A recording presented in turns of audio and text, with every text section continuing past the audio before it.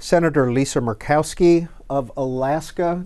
There's not too many third generation Alaskans around, is there? There's getting to be more and more, and uh, my husband and I are contributing with that fourth generation. Hopefully, both boys are going to want to plant roots um, in the state. But yeah, it's it is something that I'm really quite proud of. Love my state and uh, uh, love my family's history there. What brought your grandparents to Alaska? So on my on my uh, dad's side, the story goes that uh, everybody wanted to come up for the gold. And uh, he made it as far as Ketchikan, which most Alaskans will know is that most southern of the communities, and and basically realized he didn't have enough money to get up to the gold fields, so he stayed there in Ketchikan and uh, went to work. Actually, went to work in a bank where he cashed out the miners when they came with their gold. On my mom's side, she was born up in Nome. Uh, her dad was uh, was uh, a brand new baby attorney, and he got a, a, message from one of his his buddies saying, "Hey, come up to Alaska. I've come to this town, Ketchikan, and there's only one lawyer. And as long as there's only one lawyer, there's not much work.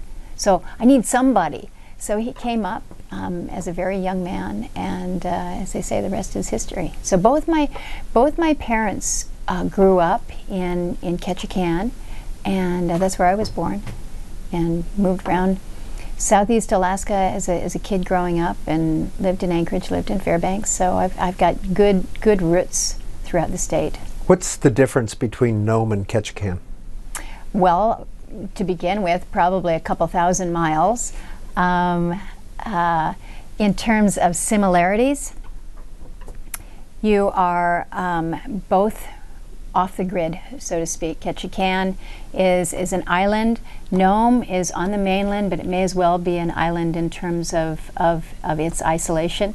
They're, um, uh, they're both communities that I think the pioneers looked to uh, as, a, as a place of opportunity. Nome for the gold rush, uh, Ketchikan, it was about the fisheries, the strength of the fisheries that drew um, not only people from the lower 48, but uh, a strong Filipino uh, contingency.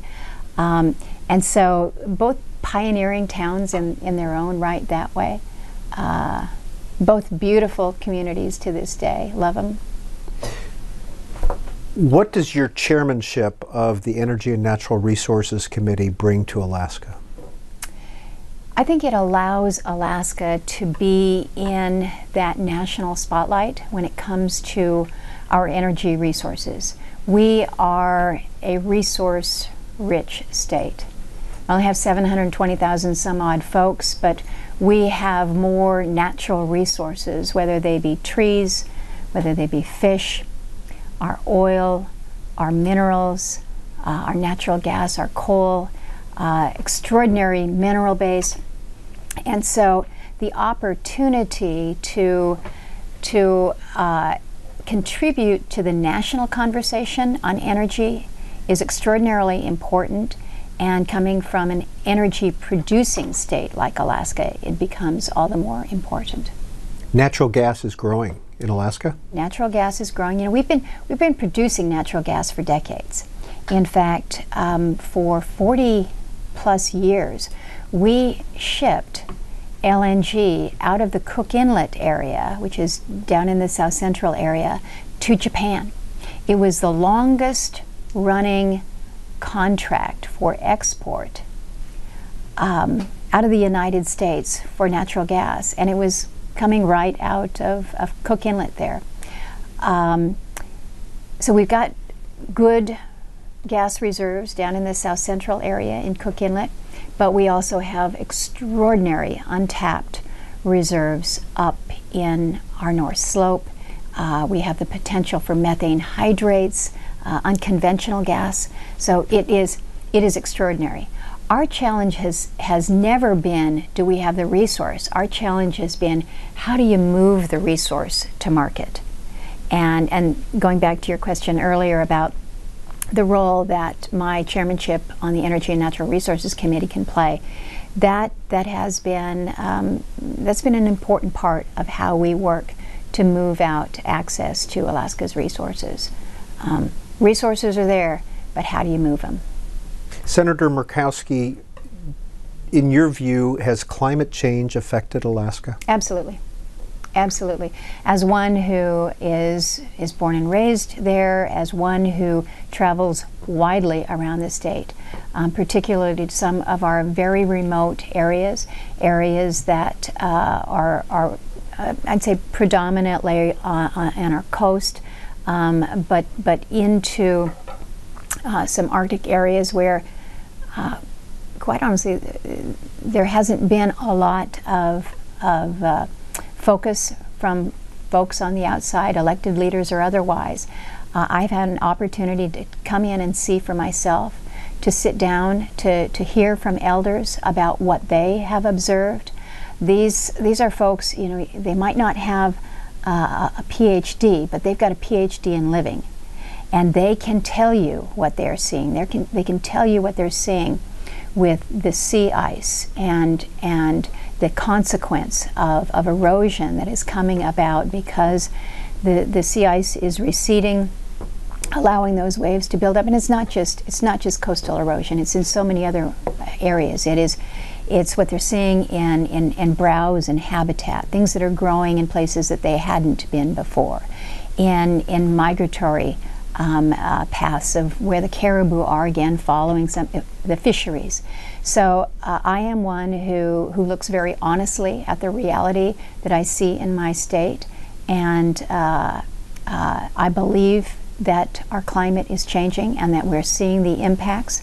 And how we are able to adapt, how we are able to mitigate is something that as a, as a lawmaker I try to help our state with uh, on a daily basis. Now, you've also just recently passed legislation to help with some of the indi- indigenous populations mm-hmm. in Alaska, haven't? Mm-hmm. Didn't you? Loan guarantees. Mm-hmm. Loan guarantees. Um, you know, when when I think about the many ways that we can help, uh, that we here in Congress can help those in our uh, in our native communities um, deal with whether it's the impact of of of, of climate change, uh, through um, uh, helping them develop infrastructure that will kind of push back against the tide. That's pretty tough, it's very expensive. Um, offering uh, assistance, technical assistance, loan guarantees, grant programs, um, uh, scientific uh, assistance, research data. There is there's a host of different ways that we can help. Um, but I think it's, it's, it's also important to recognize that these are not just initiatives that would say focus on moving a village, for instance, uh, a community that is, is threatened by erosion and they're going to lose their school, they're going to lose uh, the, the, the, the, airstrip. Um, there are other impacts that we see with, with uh, uh climate change. Um, particularly health related impacts. If you have an area that is now drier than it was before, you have levels of dust because you don't have paved roads. Um, uh, so you've got respiratory issues that children may be dealing with. Um, so it's there are a host of different ways that we have to look at this as an issue, and uh, the threats to the people are are um, I believe apparent. There are three of you in Congress representing Alaska. 3,714 miles from here is Juneau. Mm-hmm, mm-hmm. Do you ever feel like you're fighting against a tide to get sure. people down here to understand? It's always an education. Um, I can talk about Alaska to my colleagues and to members of, of the administration, but even they will admit that they really didn't get it until they flew to Alaska, until they were in that situation where they realized wait, she was right. There are really no roads down there. These communities, over 80% of our communities in the state of Alaska are not connected by road. So your bus that wants to try to get around Alaska, well, good luck with that. We have our marine highway system that you get on the ferry and you can go up, and we have we have the parks that goes up, and we've got the Richardson that comes down, and that's our that's our road system. So when you think about um, when you think about rural, everybody has rural in their state. So when I talk about rural, they're like, yeah, yeah, yeah, I understand. To, to them, rural is you, you drive on a, a, a long way and you finally get to a rough and bumpy road and you get to a little town after that and then you go out the back end of that little town another rough and bumpy road and you're in rural. Well, in our in in Alaska, it's beyond rural. It's bush. It's frontier. Um, it is it is beyond what most people can relate to.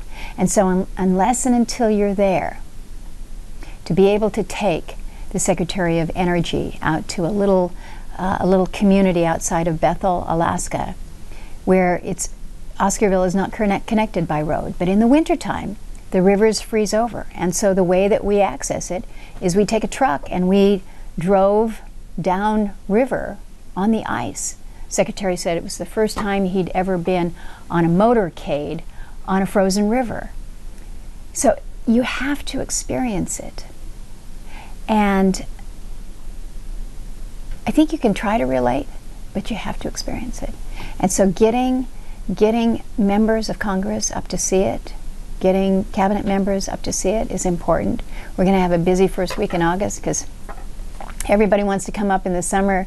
They're not so inclined to, to come up in the winter time. We're going to keep working on that, but uh, it's just as good, maybe even better in the winter.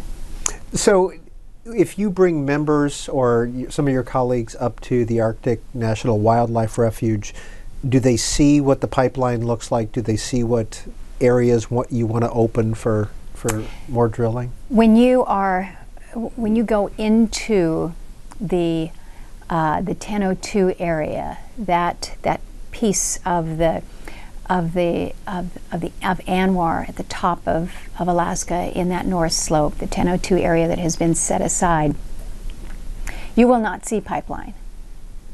There is no pipeline. There is there is nothing in that 1002 area of, of ANWR. There is the community of Kaktovik, uh, and that community has its own airstrip, and they've got a school, and they've got a community hall, and they've got a, a little little restaurant. Not it's not really a restaurant; it's a little little uh, lodging. Um, but that's that's what is in that area existing. There there is one stub of a of an exploration well that was made back in the early 80s, and that's it. And that's covered.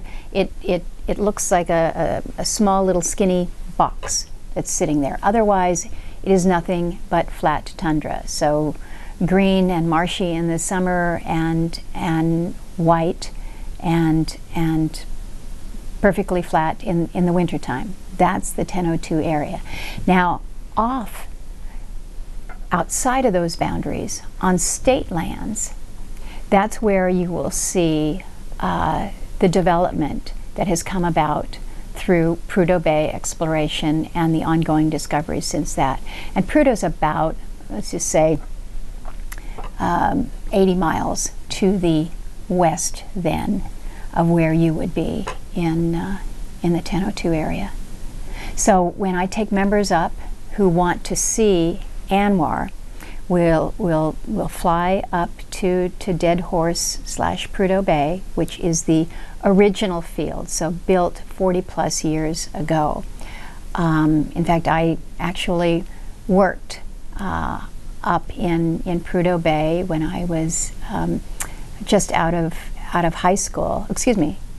Yes, I was just out of high school. I was in college, and um, uh, worked as they were constructing constructing the pipeline at, at, that point in time. So I spent a, a, full summer up there. It was an extraordinary experience. But you see, you see that development. That's what people would call, you know, the elephant find. That was that was what changed the state of Alaska in terms of revenues to the state. And and then you have what would be described as more satellite fields that spoke out in state areas. Uh, again, further to the west of of the ANWR area. Um, And what we are seeing now with the with the level of, of exploration and the finds that they're seeing between the, the satellite areas on the state lands and, and the opportunities within the NPRA, the National Petroleum Reserve, which again is further to the, to the west of, of the 1002. That's where you're seeing um, some, some pretty strong development right now.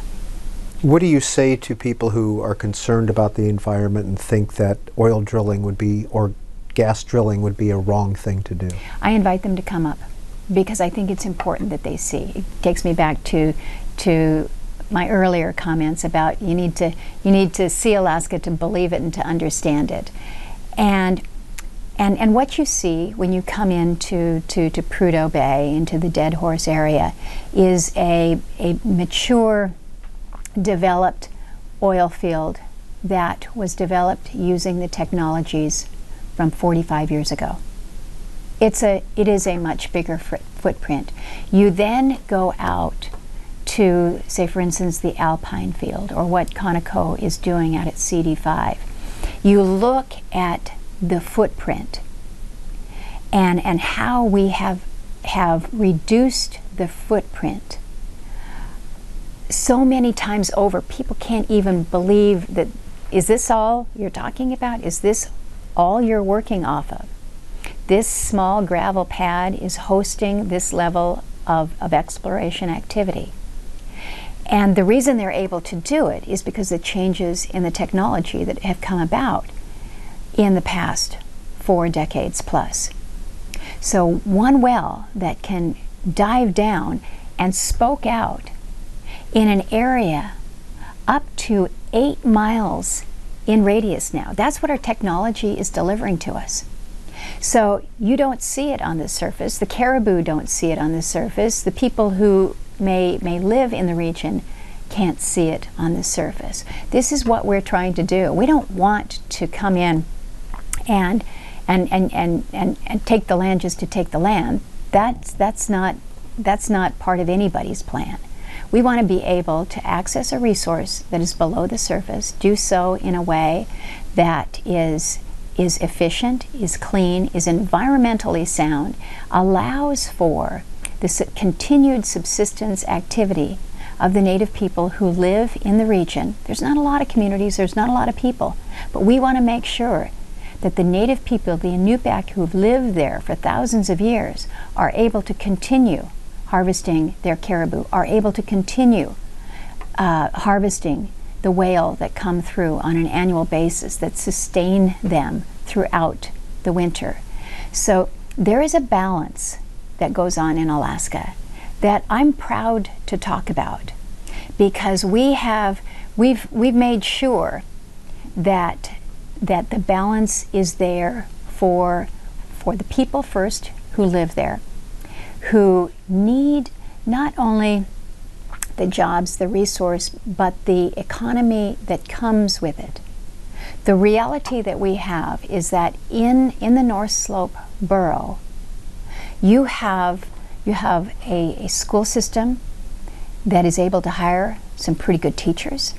You have health care that is available for the people who live in this, in this region that is to be admired. You have you, you can afford your utility costs in Barrow. Barrow is powered by, by natural gas. Nuiqsut is, is powered by natural gas that comes from the oil fields. You compare that to some of the communities that are still 100% reliant on diesel fuel to stay warm. So what what development has brought to the people in the region? It has it has brought about change and i know that there is there's resistance there's always some resistance to change.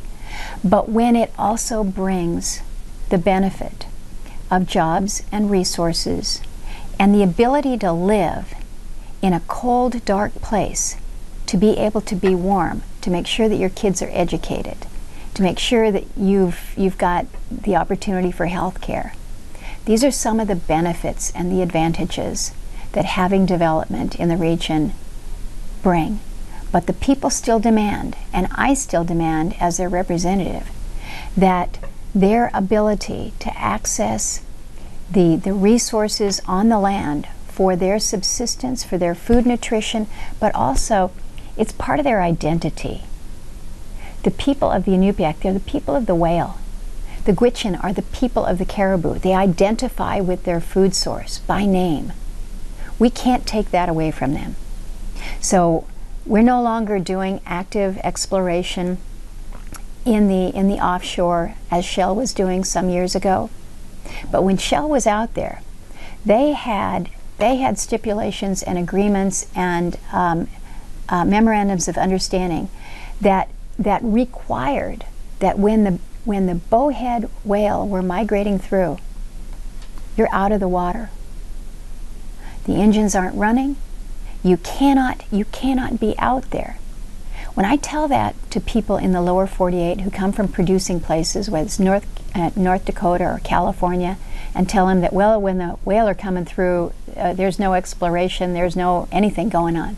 They say, "What? You can't possibly do that." I said, "No, that's the condition." That's how you get your social license to operate. You have to work with the with the people who live there, the indigenous peoples who've been there for a thousand years. So it's about balance. It's about balance, and it's not easy, but it's very, very important. Senator Lisa Murkowski is chair of the Energy and Natural Resources Committee in the Senate, and she is the senior senator from Alaska final question. In the next couple weeks, a lot of attention is going to be paid to you when it comes to the Brett Kavanaugh nomination. Mm-hmm. You've had this before, but what's that? What's that like to have that attention? Well, I like to say that look, every one of us in the Senate, all 100 of us, have exactly the same vote. I have one vote, as does my, my junior senator from Alaska, as does the most senior member of the United States Senate. But I know that there is a, there is a great deal of attention that has been trained on me uh, because um, primarily of the, the issue of, of Roe versus Wade and what will happen when Kennedy, who was the swing viewed as that swing member on the on the Supreme Court when he leaves and and uh, Judge Kavanaugh were to replace him, what then happens to the balance? And it's not just the balance um, on, on, on women's reproductive issues. It's, there's so many other issues that are certainly a concern for Alaska's constituents. We're a state that believes very, very strongly in ensuring that we're respecting um, Second Amendment rights, for instance. Uh, but trying to trying to identify or distill out and say that there is one issue that for me will guide my determination on on this nomination or any future nomination for the United States Supreme Court. That's not how I operate. I have been looking at at Judge Kavanaugh and his record holistically, just as I did with every other justice that I've had an opportunity to weigh in on, whether it was Justice Kagan or Sotomayor or Gorsuch or Judge Roberts. And so I am perhaps uh, taking more time than some would like me to. Some on the right would say, you need to be deciding right now that you're going to be supporting him. And those on the left would say, you need to decide right now that he is just not acceptable. I don't operate that way. I will take my time. I will be thoughtful. I've joked with my son, who's um, finishing up law school, that I feel like I'm back in law school because I'm reading the opinions. I want to gauge for myself. And I know it's not, I'm not going to be able to ask him a question on what will you do in X case. I would not ask that question, and he would not answer that question. So, what I'm trying to, to do is discern if Judge Kavanaugh has the qualities that I think we're all looking for in a judge the judicial temperament, the, the, the character, the intelligence, the balance, the, uh, the, the desire to, to, to truly follow the law rather than to, to try to move things in a in a more predetermined um, or, or perhaps political outcome. And so I want to know how does he view precedent? What does he consider? How, how does he consider settled law to be settled? So I'm looking forward to the conversations. I think it's going to be um, more than several weeks. The, the Judiciary Committee uh, has to go through a, a pretty voluminous um, records request. You have a, a, judge who's been on on the bench now, the, the DC Circuit, for 12 years, so there's a lot of opinions out there. You have his history uh, in the Bush administration, so you have further records out there. So I'm going to be following all of it, and I am okay being in that space of people accusing me of being too thoughtful on this. I want to be too thoughtful. I think Alaskans expect me to be thoughtful. And I'm, I'm, I'm welcoming their opinions, their views. Everybody comes at it with, uh, with something that they care about. So there's a process ahead of me. And, uh, and as you've noted, I'm, I'm in the swirl because I, I haven't been pegged into, into either box. And uh, I won't be pegged into a box. I'm going to do my own work on this, and I'm going to do what Alaskans expect me to do, which is be thorough and thoughtful.